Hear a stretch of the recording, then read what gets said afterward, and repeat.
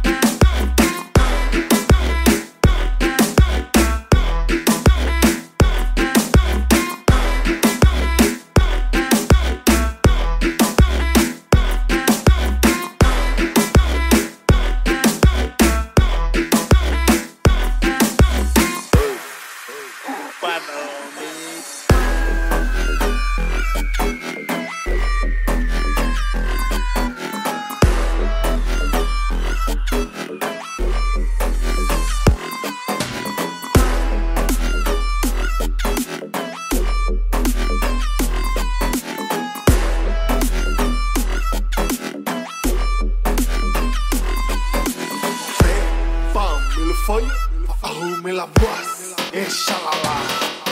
Voyez.